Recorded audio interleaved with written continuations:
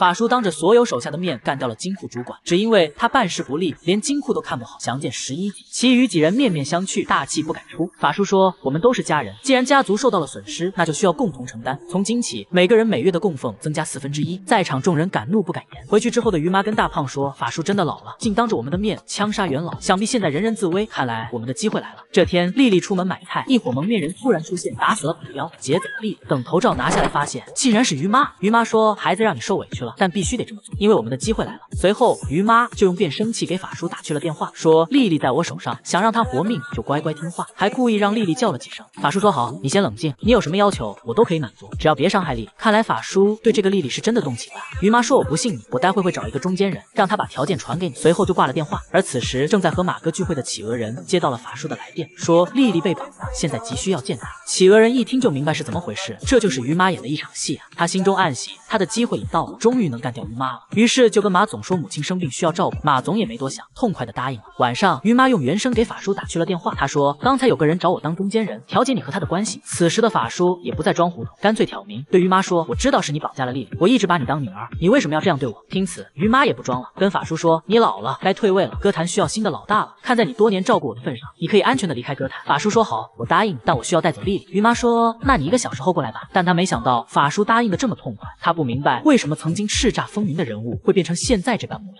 法叔这边，维克多问法叔：“我去办了他们吧？”法叔却说：“不必了，既然大家都想让我退位，那我就退位吧。我也累了。你的任务就是保护我和丽丽安全的离开歌坛。”刚说完，企鹅人来了，直接跪在了法叔面前，说：“我接下来的话可能大逆不道，但是我必须说，丽丽是于妈安插在您身边的眼线，是根据您母亲的样貌、爱好、习惯训练出来的，一切的一切都是为了今天。”听到这，法叔直接给了企企鹅人一个大嘴巴子，他不能忍受别人拿他母亲说事，同时他的心底也有一点不愿意相信。但企鹅人说：“你想想，我有骗过你一次吗？”法叔仔细一想，确实，企鹅人真的一次也没有骗过他。法叔的眼神开始变得犀利，刚才的颓废感瞬间消失。一个小时后，法叔来到了于妈这里，他先把丽丽拉到面前说：“你认识于妈多久了？”丽丽没有说话，但她紧张的表情已经给了法叔答案。随后，维克多等人就冲了进来，一人一枪指向了于妈和大胖。此时的法叔轻轻的抚摸着丽丽的脸庞，双手慢慢下滑，最后死死的掐住了丽丽的脖子，最后神色悲痛的活活将她掐死。法叔对于妈说：“我能忍受你们的背叛，但是我无法忍受你们用我的母亲来对付我。但我还得谢谢你，是你让我重新焕发活力，是你让我知道了我是谁，是你让我想起了我是如何一步步走到的今天。还有，我要让你见一位朋友。”随后，企鹅人一瘸一拐的从后边走了过来。